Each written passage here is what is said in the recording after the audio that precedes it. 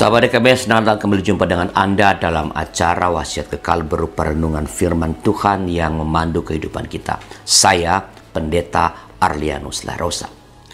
Renungan kita pada hari ini Rabu 20 Maret 2024 ditulis oleh sahabat saya, Pendeta Hariman Patiana Kota, Pendeta Gereja Kristen Pasundan yang bertugas di Universitas Maranatha Bandung dengan judul Gandrung pada Firman didasarkan pada kitab Mazmur pasal 119 ayat 9 sampai ayat 16. Dan pada hari ini sahabat kita akan memusatkan perhatian kita pada Mazmur 119 ayat yang 16. Mari berdoa sebelum membaca Alkitab dan mendengarkan pemberitaan firman Tuhan. Bapa di sorga,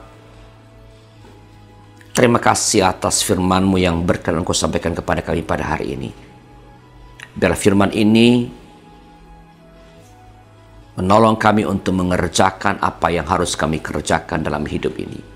Pakai seluruh kru YKB untuk menjadi al dalam tangan Tuhan supaya penyampaian dari firman Tuhan ini boleh tiba, boleh sampai di ruang-ruang setiap kami dengan baik. Terima kasih Bapa dalam nama Tuhan kami Yesus Kristus. Amin. Saya akan bacakan ayat yang ke-16 dari Mazmur 119. Demikian firman Tuhan. Aku menggemari ketetapan-ketetapanmu, firmanmu tidak akan kelupakan. Sahabat dunia membutuhkan orang-orang yang berkualitas, bukan hanya dalam hal intelektual, melainkan juga moral spiritual pintar saja tidak cukup. Dunia butuh orang yang bijak. Kalau hanya pintar, manusia tentu akan kalah dari mesin pintar yang dibuat manusia sendiri akan kalah dengan komputer.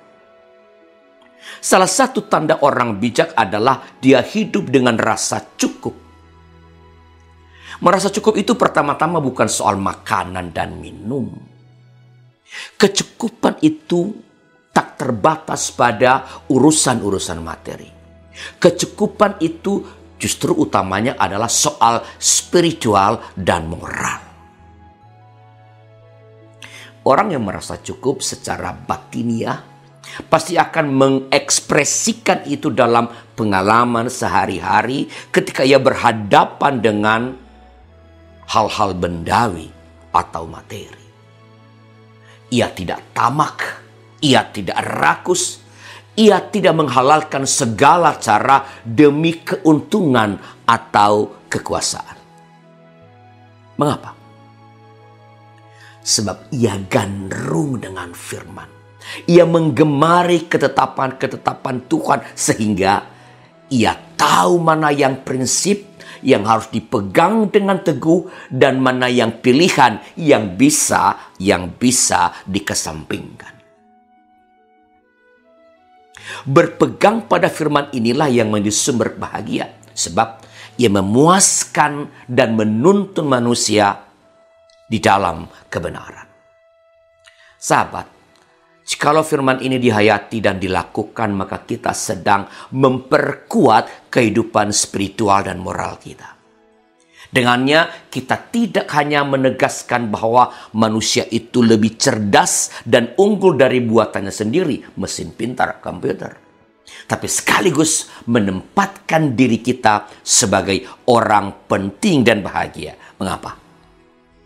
Sebab dunia memang membutuhkan orang bijak yang menggandrungi firman Tuhan dan hidup dengan rasa cukup. Mari kita berdoa.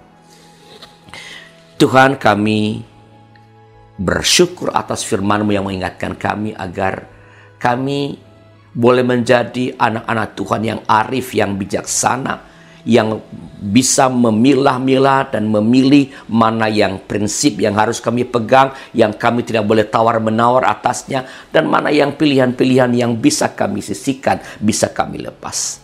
Berikan kami terus hikmat itu ya Allah, supaya dengan demikian kami dapat melakukan segala sesuatu itu sesuai dengan kehendak Tuhan, berpegang pada firman Allah, Dan oleh itu kebahagiaan yang telah engkau sediakan bagi setiap kami dapat kami raih, dapat kami rasakan. Tuhan kami berdoa untuk para guru yang mengabdikan dirinya untuk menyiapkan anak-anak kami dalam meraih masa depan, dalam mengabdikan hidupnya bagi Tuhan lewat gereja, di tengah-tengah masyarakat, dalam profesi-profesi mereka kelak, bahkan dalam kehidupan bernegara. Berkati para ibu dan bapak guru, beri terus mereka kesehatan ya Tuhan, supaya mereka boleh melaksanakan tugas-tugas sebagai pendidik dengan baik, tidak hanya menurun alihkan ilmu-ilmu, tapi mereka boleh jadi teladan, jadi inspirasi, jadi pastor bagi murid-murid yang engkau percayakan kepada mereka. Biar dengan itu mereka sungguh-sungguh dapat menyiapkan masa depan gereja, masa depan bangsa dan negara kami. Berikan mereka kesehatan.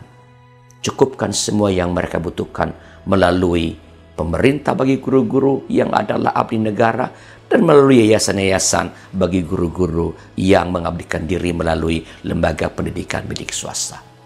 Berikan kepada para pengurus yayasan kemurahan hati dan kearifan sehingga kebutuhan kebutuhan dari ibu dan pak guru ini boleh tercukupkan dengan baik sehingga mereka boleh berkonsentrasi untuk menjalankan fungsi mereka sebagai pendidik. Terima kasih Bapak. Dalam nama Tuhan kami Yesus Kristus. Amin. Demikian sahabat renungan kita pada hari ini. Jangan lupa subscribe, like, dan bagikan kepada sebanyak mungkin orang. Tuhan memberkati saudara.